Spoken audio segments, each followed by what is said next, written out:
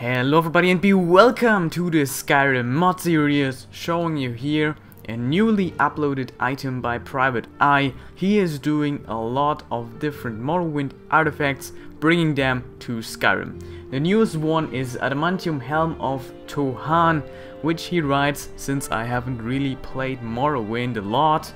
He writes that there is almost no background story about Tohan or the helmet in general known. You can imagine by now that the helmet design is based on the Morrowind artifact.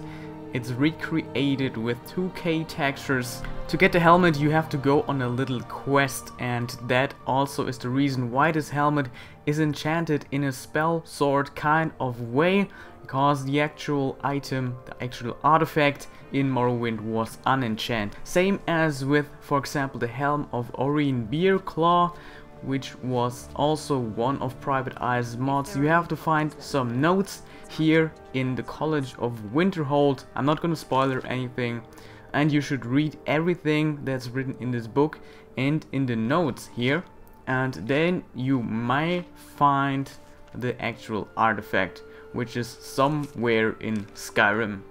If you don't find it reading those pages or you just don't get it or whatever, you can read the hints on the mod description, they will lead you, hopefully, there.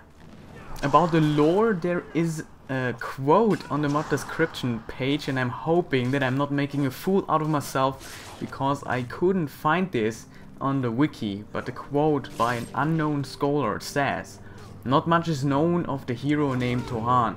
His adamantium helm has been a prized possession for many adventurers throughout the ages but the person who gave the helm its name is a shadowy figure at best.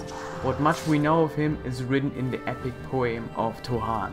I hope Private Eye didn't make that quote up, fingers crossed, because he seems to like this kind of stuff. And wrapping it up, thanks everybody for watching. If you liked the video, please give it a thumbs up.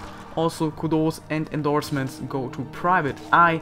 Check out his profile page on the Nexus for more Morrowind artifacts in Skyrim. See you guys next time.